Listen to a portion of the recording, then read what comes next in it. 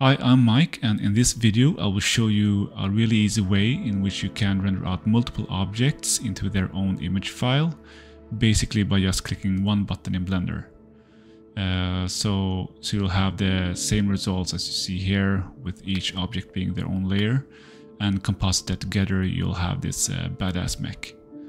So a use case for doing something like this would be for example if you're doing a 2D game but you want to have uh, each part rendered out in 3D.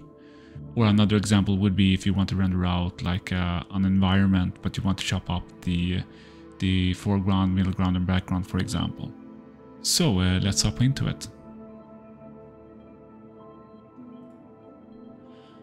Okay, so now we're in uh, Blender. So I'm just gonna take a moment to explain a little bit what we're looking at.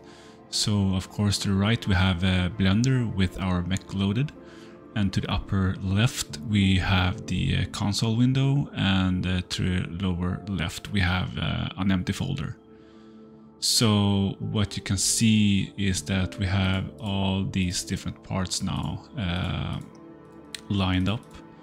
And what we could do is just render out each part like separately by just hitting the the render button, wait and just uh, unhide and, and render again. Or you could head into the node editor and probably set everything up there and spend a lot of time doing that. But that's not what we're going to do.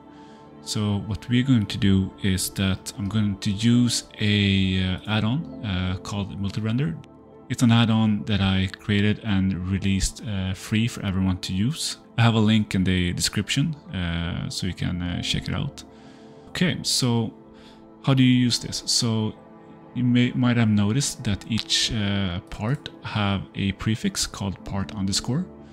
And what the add-on does is that it looks through all the objects that you have in the scene and it identifies by the filter that you have written in here. So in our case, what we want to do is just to write in part underscore. So what this will do is as soon as I hit the render button, it will start to cycle through all the, the parts and render it out to its own image file. But before uh, I hit the render button, I just want to mention that I highly recommend that you have a console window open. And the reason for this is that as soon as you hit the render button, uh, Blender will uh, basically become uh, unusable. So the console window is a great way uh, to track the render progress as uh, the add-on will actually print out uh, what's happening. So let's go ahead and press the render button and see what happens. Okay, so you can see now in the console window that the rendered has started.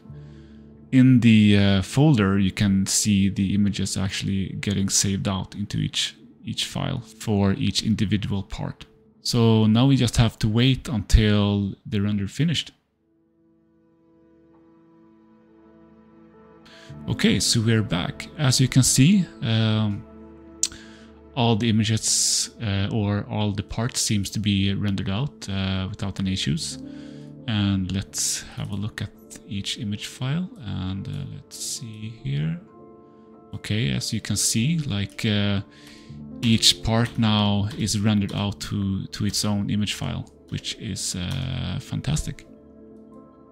Alright, so here you can see another use case for why you would want to render out different uh, objects into different layers.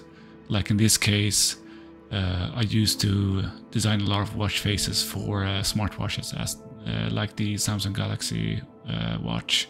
Here you can see that you can render out different parts for different uh, applications or apps or or in this case watch faces so as you can see here I can show you like here to the right you can see all the different parts rendered out and to the left you can see everything composited together uh, so everything is still separate in which you can use this to import into whatever uh, application you're making or whatever like game engine or whatever it might be so you can see here that everything here is ready for for use in a real-time application.